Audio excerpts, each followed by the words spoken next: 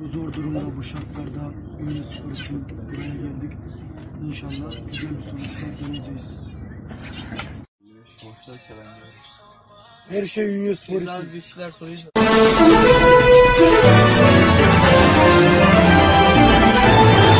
Doğru haber için burada kalmaya devam edin.